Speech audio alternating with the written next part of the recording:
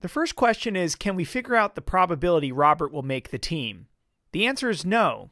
We do not know the shape of the distribution of his swimming times, so we can't find the area of the density curve corresponding to times less than 58 seconds.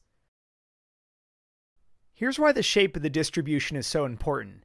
If the swimming times have a skewed distribution, say like this, then the mean time of 57.4 is probably about here. Then 58's about here. So the area we'd be interested in is everything to the left of that 58. Now, if his swimming times have a distribution that's more symmetric like this, then the mean's right in the middle. And maybe 58's about here.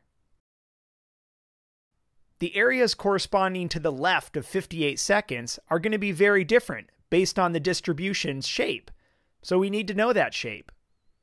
If Robert's friend Haley is correct, then it provides the missing piece of the puzzle. We now know the shape of the distribution, or at least we're going to assume it's approximately normal. We also know the mean is 57.4 seconds and the standard deviation is 0.8 seconds. Now we can figure out the probability of a swim time of less than 58 seconds, so one that would qualify him for the team. Since the shape is approximately normal, we can draw the normal curve. The center of this curve is at the mean, 57.4. To figure out where the 58 is, we can find the z-score. The z-score is calculated with this formula. We start with 58, the value of interest, subtract the mean, 57.4, and divide by the standard deviation, 0.8. That gives us the value of 0.75. That's the z-score. And what it means is 58 is 0.75 standard deviations above the mean. That's probably about right here. So the area of interest is everything to the left of that 58. Let's shade that in. To calculate this area, we can use the norm CDF function.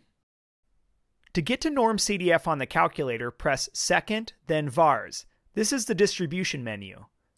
When I go to norm CDF and press enter, I get to input a lower limit, an upper limit, the mean, and the standard deviation.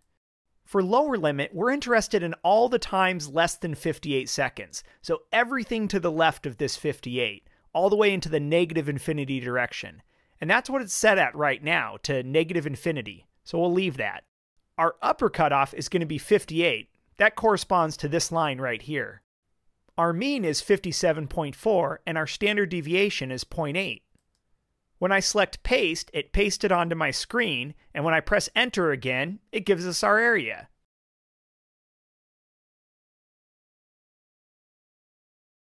That gave us an area of about 0.7734. So this is the probability we want. The probability Robert gets a time of less than 58 seconds is about 0.7734. In the next part, we're interested in taking the mean of four swims and whether it improves Robert's chances of making the team. So we're really interested in the sampling distribution of x bar for a sample size of 4. Here's what we know about this sampling distribution. The shape is approximately normal. We have that from our assumption in part B. The center is at the true mean, which is 57.4. We can calculate the spread using the standard deviation of the sampling distribution. We take sigma, divide it by the square root of our sample size, and we get 0.4. We can only do this calculation as long as we assume that each swim is independent of the others. This time, we're interested in the probability that our sample mean of the four swims is less than 58. So the shape is still approximately normal, so let's draw that. The center is still at 57.4, but our standard deviation has changed to 0.4. To figure out where 58 is, we need to calculate the z-score again.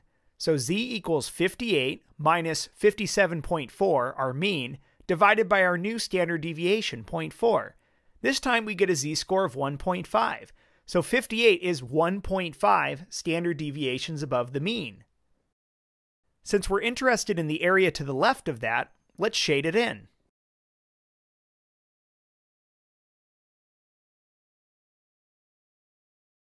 So let's use norm CDF again.